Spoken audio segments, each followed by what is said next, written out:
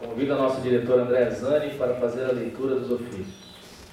Veio um ofício do PNDB, Partido do Movimento Democrático, que foi enviado convite, mas não pôde estar presente. E ele pediu para entregar uma cópia do seu Zito.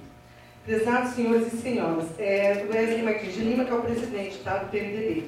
Com muito pesar, peço desculpas, mas infelizmente, por motivos profissionais, não poderia estar presente nessa importante solenidade do dia de hoje, para a entrega de título de cidadão benemérito ao senhor Zito.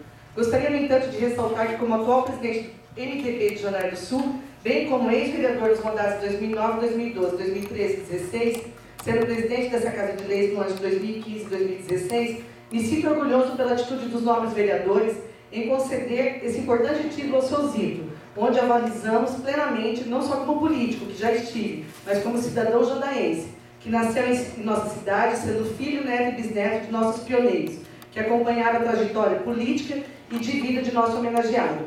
Como sempre, defendi tanto em nossas homenagens aos ex-políticos em 2015, quanto aos pioneiros em 2016. A melhor manifestação de valor deve ser prestada em vida, e não somente se colocando nomes de ruas após o falecimento das pessoas, com orgulho, seus itens ter convidado e presente também nos nossos eventos, de nossos vereadores e vereadoras, nas referidas homenagens de nossa época, o que consolida ainda mais a importância desse grande homem ao destino de nossa cidade de Jandaia.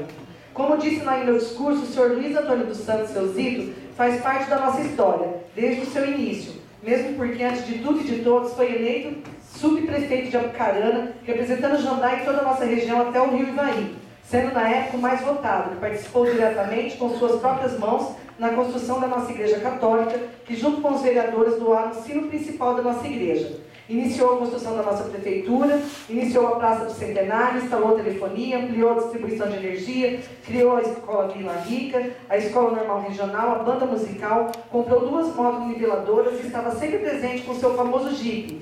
Diria que foi um Juscelino Kubitschek para a nossa Jandaia.